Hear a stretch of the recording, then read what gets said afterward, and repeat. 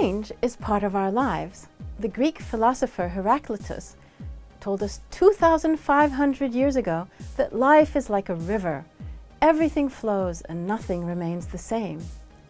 Behavioral medicine is the science of changing our behavior so we can keep healthy and happy as long as we can.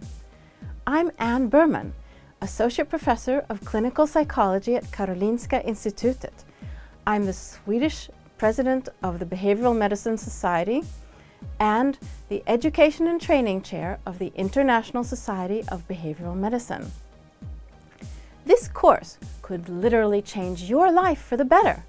Join me and my expert colleagues for the latest on behavioral medicine. In each module of this five-week course, you will get to explore basic behavioral medicine concepts and explore how these concepts are related to behavioral problems that involve illness and apply these concepts in interventions to help people change problem behaviors.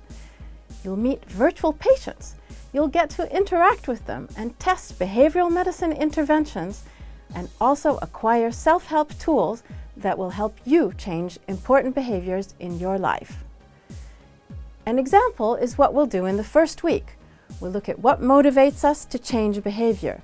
For example, the effort-reward imbalance and demand control models that help us understand why we might be unhappy at work. We'll meet our first virtual patient, a bartender who drinks to sleep better. And we'll get to apply techniques of motivational interviewing to help our bartender.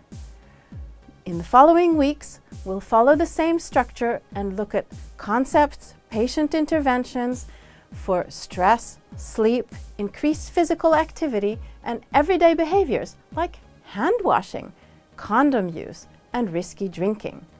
Take a big step towards healthy behaviors and join us for an exciting five weeks.